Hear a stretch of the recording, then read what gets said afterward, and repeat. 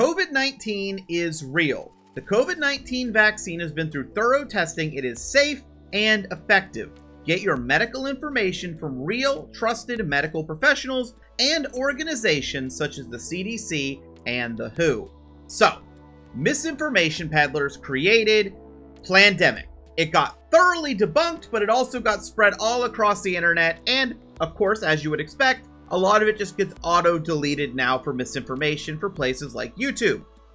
So, to keep the grift rolling, they jumped on a Plandemic 2, where the same thing happened. It got debunked, it got removed, and now they're going on to this is real. I promise you, they're doing a Plandemic 3.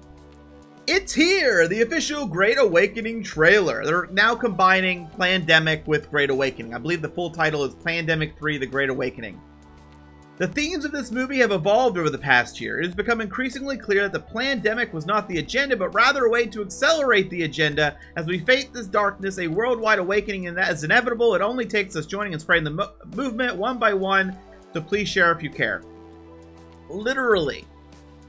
They're just not even doing their regular misinformation now. They're moving on to other conspiracies and using the, well, honestly, the terrible name of their previous films that's already been debunked for more misinformation conspiracies. So, be on the lookout because this comes out. There are very quickly going to be doctors and other people debunking this thoroughly. Again, for the third time hilarious.